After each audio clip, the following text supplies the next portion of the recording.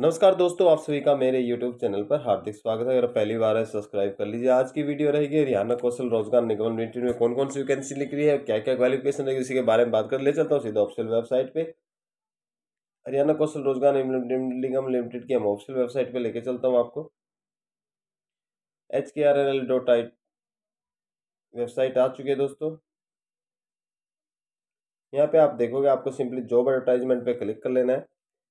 Click करने के बाद आपके सामने ऐसा इंटरफेस आ जाएगा। यहाँ पे जो वैकेंसी निकली है, यहाँ पे आप देख सकते हो। जो वैकेंसी रहेगी, पहली दोस्तों मल्टीटास्किंग ऑफ़िस वर्कर की रहेगी, ठीक है? अगर नेचर ऑफ़ वर्क का बात कर ली जाए तो एनालिटिकल एसोसिएट की वैकेंसी रहेगी, ठीक है?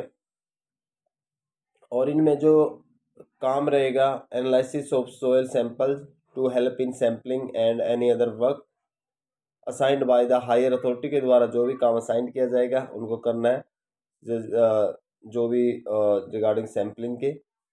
और कैंडिडेट शुड भी मैट्रिक इन सेकंड डिवीज़न से पास होना चाहिए। मैट्रिक में दसवीं मांगी गई है, इसमें आप अप्लाई कर सकते हो। वेजिस की बात कर लिया आज पर निगम वेजिस के हिसाब से निकलेगी। पच्चीस मार्च से फॉर्म स्टार्ट हो चुके हैं। चार अप्रैल इसकी लास्ट डेट है। अप्लाई करने का ऑप्शन यहाँ पे दिया जो ऑलरेडी अप्लाई कर चुके हैं, अपना फॉर्म चेक करने यहाँ से लॉगिन कर सकते हैं।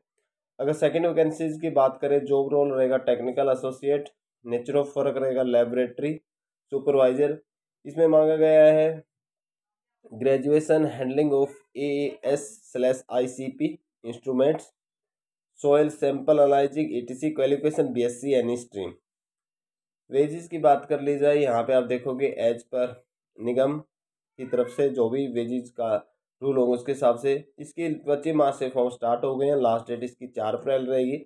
अप्लाई करके करना है तो यहाँ पे क्लिक कर सकते हो। लॉगिन करने के लिए आप यहाँ पे क्लिक कर सकते हो। अब बात कर लेते हैं।